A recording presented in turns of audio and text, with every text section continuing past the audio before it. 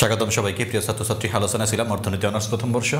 মৌলিক পরিসংখ্যান সাবজেক্টে, measures of central tendency chapter সিক্সটিনতম class হবে পার্ট সিক্সটিন, ষোলোতম ক্লাস। সাধারণ বা পৃথক তত্ত্বের ক্ষেত্রে জ্যামিতিক গড় নির্ণয়, জিওমেট্রিক মিন, জিএম নির্ণয়।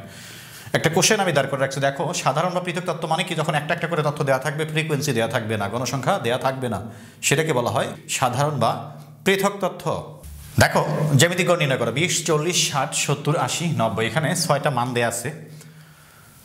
এই মানগুলার ফ্রিকোয়েন্সি নাই মানে কি সাধারণ বা পৃথক তত্ত্ব, জ্যামিতিক গড় নির্ণয় করতে হবে। অ্যান্সার আমি এখান থেকে শুরু করি, দেখো অ্যান্সারটা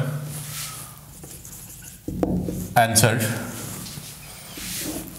তথ্যমানকে আমরা কি বলব? এক্স বলব, খেয়াল রাখিও, তথ্যমান। তথ্যমানকে আমরা কি বলব? এক্স আমাদের এখানে কি সাধারণ বা পৃথক তত্ত্ব? ইজি অ্যান্ড সিম্পল মনোযোগ সহকারে খেয়াল করো।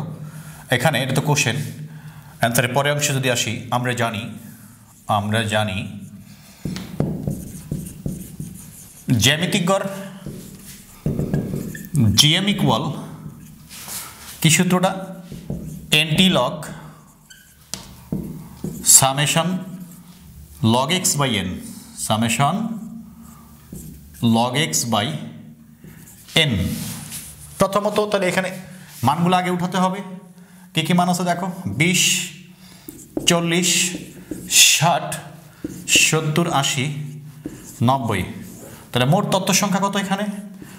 এখানে মোট তথ্য সংখ্যা বা মোট গণসংখ্যা, তথ্য সংখ্যা এন ইকুয়াল সিক্স মোট তথ্য সংখ্যা বা মোট গণসংখ্যা এন ইকুয়াল কি? সিক্স আমাদের সূত্র অনুযায়ী আমাদের কি দরকার? দেখো সামেশন লগ এক্স দরকার। সামেশন লগ এক্স লগ এক্সের মান বের করতে হবে আগে।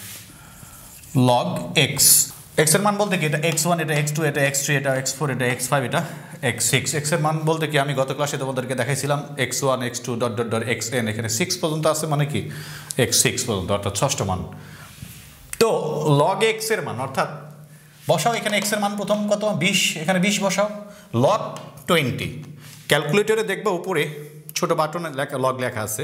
সে লগ চাপবা টোয়েন্টি চাপবা ইকুয়াল চাপবা। কী হবে?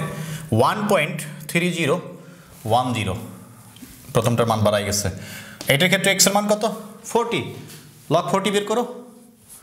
Log forty log forty equal one point six zero two one তারপরে কি? Log sixty log sixty equal one point seven seven eight two log seventy log 70 equal 1.8451 log 80 log 80 equal 1.9031 log 90 equal 1.9542 মনোযোগ সহকারে শোনো, প্রশ্ন থাকতে পারে। Sir, এতদিন আপনি অঙ্ক করাইলেন। দশমিকের পর দুইটা মান নিয়েছিলেন, আজকে আবার চারটা মান কেন? হ্যাঁ দশমিকের পর যত বেশি নেবা, যেহেতু এখানে এন্টিলগ আছে। কে আছে? সূত্রে আমাদের এন্টিলগের ব্যবহার আছে। পয়েন্ট মনে করো জিরো থ্রি ওয়ান ফোর এই যে তুমি এ পর্যন্ত নাও, এই পয়েন্ট আর এই তৃতীয় চতুর্থ ঘরের জন্য আরও অনেক বেশি ব্যবধান মান আসবে এই অ্যান্টিলগের কারণে। অ্যান্টিলগে পয়েন্ট জিরো ওয়ান ব্যবধান থাকলেও মানের একটা ব্যাপক চেঞ্জ আসে। এই কারণেই যখন অ্যান্টিলগের ব্যবহার হবে কোনো কোশ্চেনে তখন তুমি দশমিকের পর চার ঘর পর্যন্ত নিবা। লগের কাজ করতে গিয়ে বিশেষ করে জ্যামিতিক গড়ের ক্ষেত্রে লগের কাজ যখন করবা, দশমিকের পর মিনিমাম চার ঘর নিবা, তাহলে তোমার মানটা সঠিক আসবে। তাহলে একটু কম বেশি হবে। দুই ঘর পর্যন্ত নিলে অঙ্ক হবে। কোনো টিচার যদি একটু ভুল ধরে নাম্বার কম দেয়, তোমাকে তোমার করার কিছু থাকবে না। তো কী করব আমরা? দশমিকের পর লগ জ্যামিতিক গড় নির্ণয়ের ক্ষেত্রে লগ এক্সের মান যখন বের করব, তখন দশমিকের পর কত ঘর নেব? মিনিমাম চার ঘর পর্যন্ত নেব। এখন এগুলো আমরা কী করব? যোগ করব। One point three zero one zero plus one point six zero two one plus one point seven seven eight two plus one point eight four five one plus one point nine zero three one plus one point nine five four two equal আমরা কি করলাম? দেখো, সকল log x যোগ log x one log x two log x three log x four log x five log x six সকল log x যোগ মানে কি? সামেশন লগ এক্স ইকুয়াল মান কি পেলাম আমরা? Ten point three eight three seven এখন আমরা এখানে যদি মান বসাই দিই, দেখো এনটি লগ এনটি লগ কি পেয়েছি? Ten point three eight three seven by কত? এন এর মান কত? সিক্স আমরা শুরুতেই বের করে রাখছিলাম। এন এর মান কত? খেয়াল করো। মোট তথ্য সংখ্যা এন ইকুয়াল সিক্স এখন ক্যালকুলেশন করো। আমরা বের করতেছিলাম কার মান? কার মান বের করতেছিলাম আমরা? জিওমেট্রিক মিন জ্যামিতিক গড়। জিএম এর মান।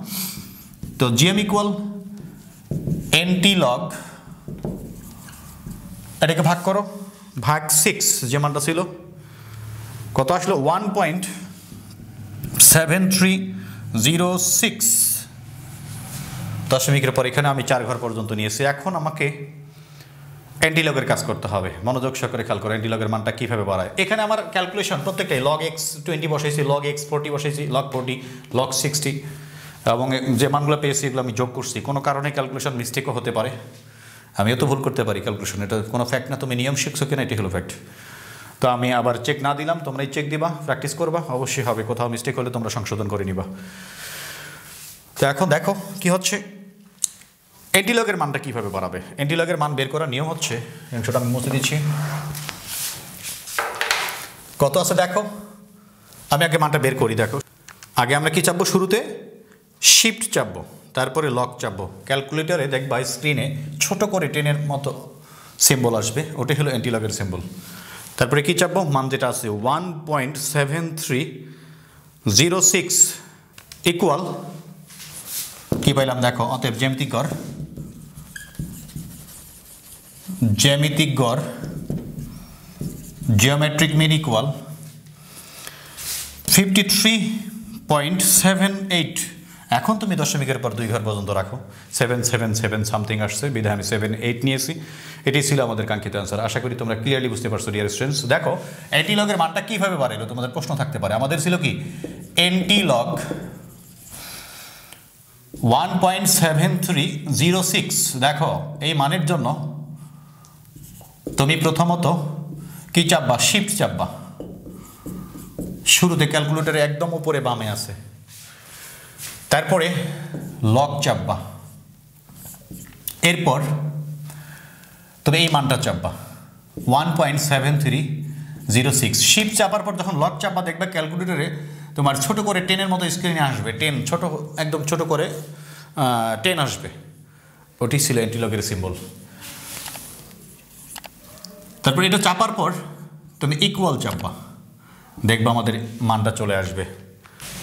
ইকুয়াল চাপার পর মান দেখবা তোমার মান আসবে fifty three point seven eight আশা করি তোমরা অ্যান্টিলগের মান কীভাবে বের করতে হয় সেটা বুঝে ফেলছো ডিয়ার স্টুডেন্টস একদম সহজ অঙ্ক এগুলো, বেশি করে প্র্যাকটিস করবা। এরপরে কেউ সমস্যা মনে করে থাকলে অবশ্যই আমাকে জানাবা। আমি সামনের ক্লাসে তোমাদের তো আলোচনা করব কি হ্যাঁ বিরত বা বিচ্ছিন্ন নিবেশন। বিরত বা বিচ্ছিন্ন নিবেশনের ক্ষেত্রে কীভাবে জ্যামিতিক গড় নির্ণয় করতে হয়। ওকে আল্লাহ হাফিজ।